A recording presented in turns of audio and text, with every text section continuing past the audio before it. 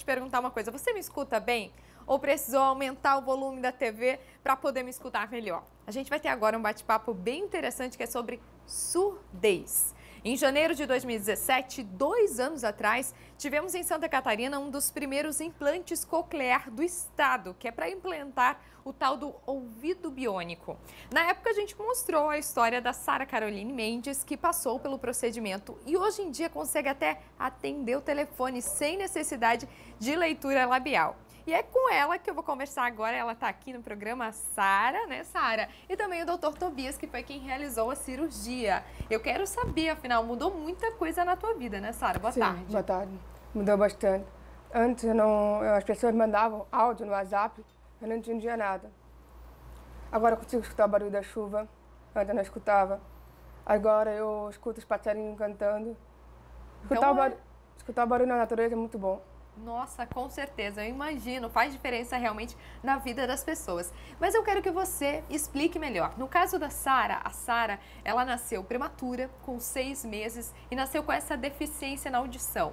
Antes ela até escutava, né, Sara, um pouquinho, você conseguia, mas se tivesse muito barulho, você não escutava direito, né? Não escutava.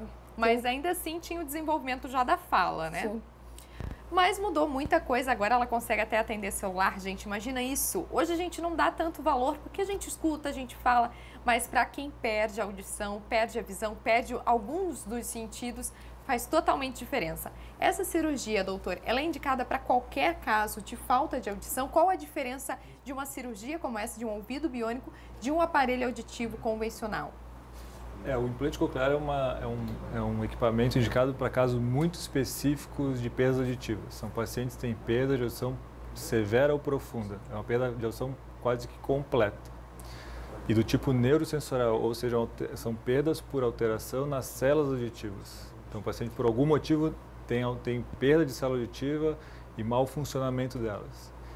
Ah, por isso que, nesses casos, o aparelho de audição convencional não consegue dar o resultado suficiente para o aparelho funcionar, o som quando chega no ouvido tem que ter células para receber esse som, transmitir para o nervo e aí o nervo levar o som para o cérebro.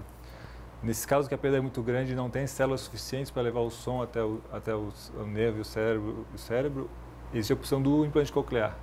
Qual é a diferença? É que o implante ele tem uma parte que é colocada na cirurgia, eles chamam de unidade interna, e ele vai conseguir estimular diretamente o nervo. Então, ele faz a função da célula auditiva que nesses pacientes está muito eh, debilitado.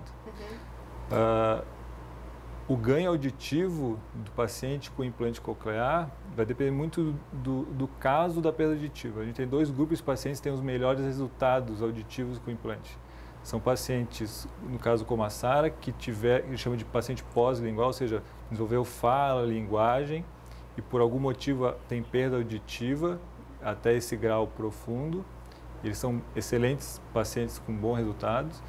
E os pacientes que nascem com perda auditiva, já profundo, e implantam ah, o equipamento até dois anos de idade. São os melhores resultados. Então realmente faz toda a diferença e a Sara está aqui para mostrar pra gente que realmente faz sentido. Depois que é implantado, até a gente pode mostrar ali, ó, ela tem dos dois lados, né? Não, se- não necessariamente tem que colocar dos dois lados, às vezes só de um. Mas depois que colocado, quando que ele começa a fazer efeito? Ah, depois da cirurgia, sempre se espera 30 dias para ativação do implante. É o período de cica- cicatrização da região operada. Então, depois se liga o aparelho e aí o paciente começa uma fase que é de fonoterapia e é super importante e ela é determinante para o resultado do implante. Ou seja, não é botar um implante, ligar e o paciente vai ouvir normal.